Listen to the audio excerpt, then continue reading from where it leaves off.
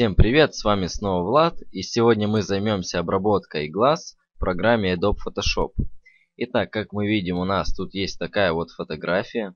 Тут девушка с красивыми глазами, но мы впоследствии сделаем эти глаза более-более красивыми, а также изменим цвет наших глаз. Итак, для начала увеличим нашу фотографию, зажмем Alt и покрутим колесико мыши, чтобы нам было легче работать. Итак, далее выбираем инструмент перо, вот он вот здесь находится. И вот так вот создаем несколько точек. Вот. Далее выбираем инструмент, который называется стрелка. Вот он тут находится. Нажимаем правой клавишей мыши и добавляем опорную точку. Вот тут так. Также тут добавляем. И здесь. Так, вот здесь, как мы видим, тут получился такой острый угол. Для этого выделяем нашу точку и удаляем. И создаем на ее месте другую опорную точку. Вот, чтобы вот так получилось. И вот этими вот направляющими редактируем. Вот так. Далее вот здесь вот тоже удалим опорную точку. И с помощью направляющей также вот здесь подредактируем. Так, вот здесь вот чуть вот так вот сделаем.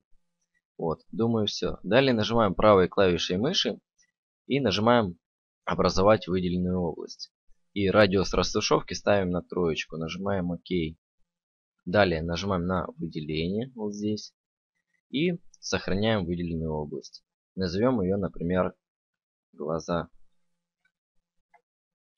Нажимаем ОК.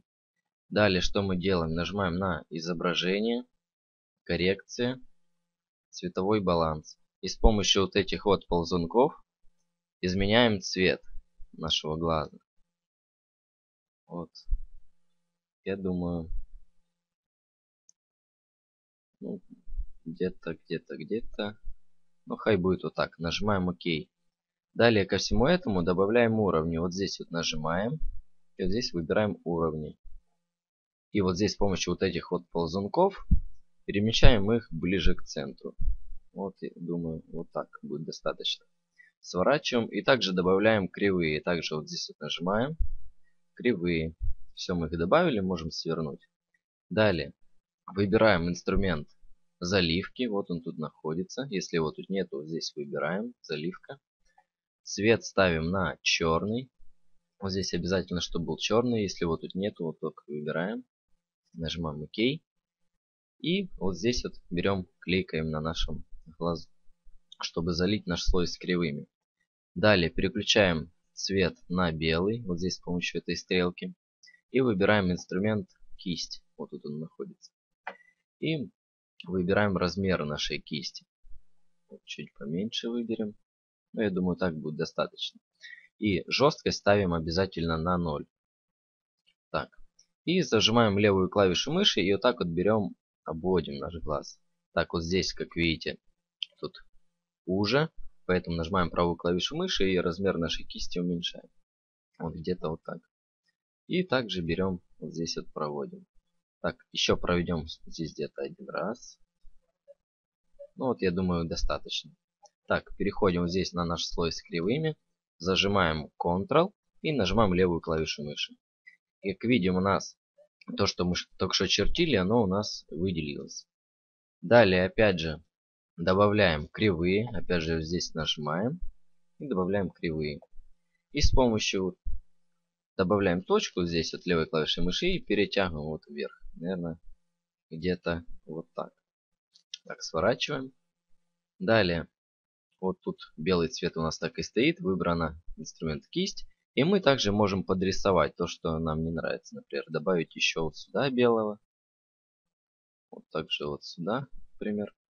Так, вот, например, я сейчас вам покажу. Если вы, например, вот, зарисовали вот здесь нечаянно, да, и вы этого не хотите, чтобы у вас тут это было, то переключаем цвет обратно на черный. И здесь также берем, зарисовываем то, что не должно быть. Вот, я думаю, вот так будет хорошо. Вот, также вот здесь, наверное, чуть-чуть проведем. Все, отлично.